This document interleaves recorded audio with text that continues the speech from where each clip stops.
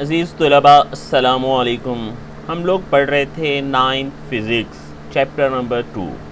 बेटा, लास्ट तीन दिनों में हमने थ्री इक्वेशन ऑफ़ मोशंस की डेरिवेशन पढ़ी।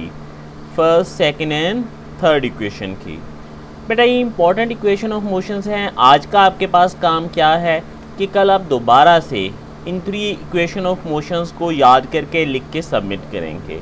जब बेटा आप याद करके लिख के सबमिट करने लगें तो ये जो कंसीडर वाला पैराग्राफ है, ये आप एक ही बार लिख लेना। डायाग्राम भी आप एक ही बार बना लेना।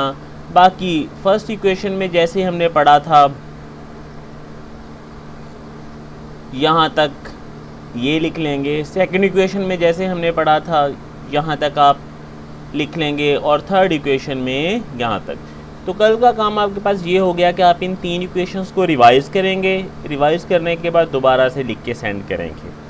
इसके साथ साथ हमने इस चैप्टर में एग्ज़ाम्पल्स हल करना है जो इस इन इक्वेशन से रिलेटेड हैं न्यूमेरिकल्स हल करने हैं। तो आप मज़ीद काम क्या करेंगे? इन इक्वेशंस को अच्छे से याद करेंगे। इक्वेशन वन क्या है?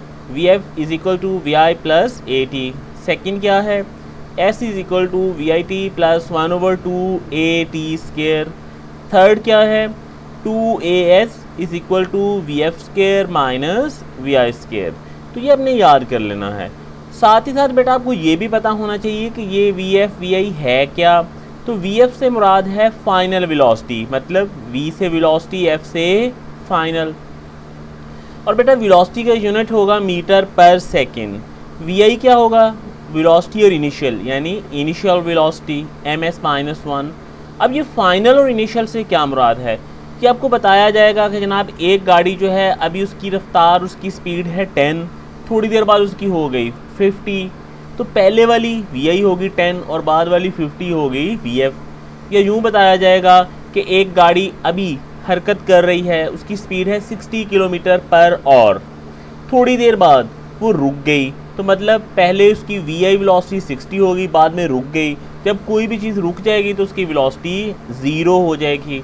तो बाद वाली ज़ीरो। तो आपने ये याद रखना है कि वी आई और वी एफ़ का कंसेप्ट क्या है? जो पहले वेलोसिटी सवाल में बताई जाए, वो इनिशियल जो बाद वाली होगी, वो फाइनल स्टैंडर्ड यूनिट इनका मीटर पर सेकंड है। किलोमीटर पर आवर में दिया हो तो भी हमने इसे मीटर पर सेकंड में ही हल करना है कन्वर्ट करके। ये स्टैंड फॉर एक्सलेशन एक्सलेशन आपको याद होगा, हम इस चैप्टर में पढ़ चुके rate of change of velocity और इसका यूनिट मीटर पर सेकंड स्केयर एस से मुराद होगा डिस्टेंस डिस्टेंस मतलब metre t for time time का यूनिट सेकेंड और बेटा, आप इन इक्वेशंस को अगर देखेंगे ना तो हर इक्वेशन में चार वेरिएबल हैं। जैसे फ़र्ज़ कीजिए आप पहली इक्वेशन पे गौर करें ये वी एफ़ दो चीज़ें नहीं है एक ही है, यानी फाइनल वेलोसिटी एक, दो, तीन, चार। दूसरी पे देखें, एक, दो, ये वाला भी साथ ही। दो, तीन चार, ये टी पहले ही आ गया। इसमें एक, दो, तीन और ये चार। हर इक्वेशन में बेटा चार वेरिएबल्स हैं।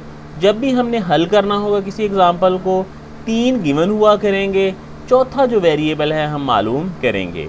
पर कैसे करेंगे वो तो हम बाद में देखते हैं। फ़िलहाल आपके पास काम यह है कि आप इन्हें अच्छे से याद करें इक्वेशंस को याद करें और इन चीज़ों को याद करें। और इनको भी अपनी असाइनमेंट में आप लिख डालेंगे। फिर बेटा, हमें जो ज़रूरत पड़ने वाली है, वो है बाद सवालों में किलोमीटर पर आर दिए हुए होंगे। हमने उन्हें बदलना होगा मीटर पर सेकंड्स में। तो बदलेंगे कैसे बेटा? एक किलोमीटर पर और। ये h माइनस है, आपको पता है कि माइनस वाली पावर्स को अगर आप फ्रैक्शन में बटे के नीचे ले जाएँ तो सिंबल चेंज हो जाता है। तो नीचे जाएगा तो h प्लस वन हो जाएगा। प्लस वन पावर हम आमतौर पे नहीं लिखते, क्योंकि जिस पे कुछ नहीं लिखा होता, उस पर प्लस वन कंसिडर होगा। फिर बेटा, किलो। पहले चैप्टर में हम पढ़ चुके किलो से मुराद होता है थाउज़ेंड हज़ार। तो किलो की जगह हमने हज़ार पुट कर दिया। और के हमने सेकंड बनाने हैं तो आपको पता होगा, एक और यानी एक घंटे में होते हैं साठ मिनट हर मिनट में होते हैं साठ सेकंड तो साठ ज़रब साठ सेकंड्स अब यहाँ पे हमारे पास ये दो ज़ीरोज़ कट जाएँगे। एक इससे और एक इससे। तो हमारे पास फाइनल हो जाएगा ten over thirty six metre पर सेकेंड या टेन ओवर थर्टी सिक्स अगर आपको पता है कि किसी भी नंबर पे पावर ना दी हुई हो तो वो पावर होती है प्लस वन इस एस को अगर हम ऊपर ले जाएँ तो ये बन जाएगा एम एस माइनस वन तो बेटा जी, एक किलोमीटर पर और बराबर हो गया ten over thirty six metre पर सेकेंड। तो जब भी किसी क्वेश्चन में वैल्यूज़ किलोमीटर पर आवर में दी हुई हों, और आप बदलना चाह रहे हैं मीटर पर सेकंड में तो आप मल्टीप्लाई करेंगे टेन ओवर थर्टी सिक्स से। इसके वॉइस वर्षा उल्ट भी हो सकता है कि किसी सवाल में मीटर पर सेकंड दिया हुआ हो, किलोमीटर पर आवर में बदलना हो तो फिर आप क्या करेंगे? Then you have to multiply thirty six over ten तो बेटा, आज का काम आपके पास इतना ही है। तीनों इक्वेशंस को रिवाइज करें रिवाइज करके कंप्लीट असाइनमेंट बनाएँ। कुछ टर्म्स आपको उनके हवाले से बताई थी पिछले पेज पे, वो आप और ये किलोमीटर्स को मीटर पर सेकंड में कैसे बदलते हैं, या मीटर पर सेकंड को किलोमीटर पर आवर में कैसे बदलते हैं? उम्मीद है आपने अच्छे से समझा होगा, और कोई मुश्किल पेश आए तो आप काइंडली दोबारा से कॉन्टैक्ट कीजिएगा। अल्लाह हाफिज़।